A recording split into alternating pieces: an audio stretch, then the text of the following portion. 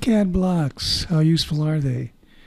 Uh, in this example, we're going to create a uh, ceiling plan for a small commercial building. Uh, Chief will let you do that. It's just Chief does not have pre-made components, so you got to be creative and make up your own. So we've created this block,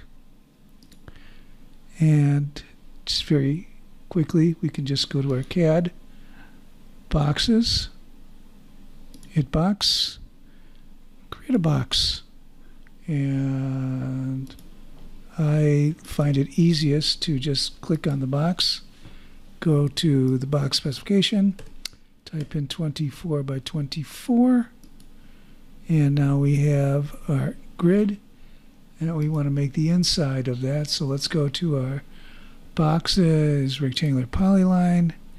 We want to be about an inch away. So we're somewhere right about there. And we can just edit that. Yeah, inch is good. Yeah, we're talking. I mean, like there. Yeah, yeah, that's cool. That's cool, sort of. Maybe. Oh, that's inch and a half. We actually want this to be one inch. So we go one. Yeah, that's better.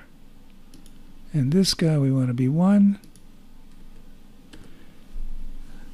Alrighty.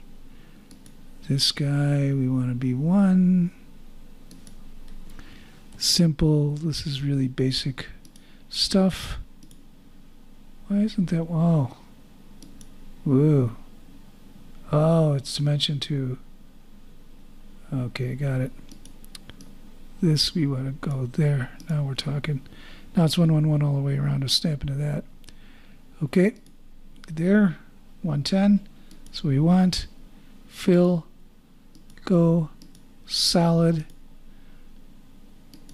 gray box.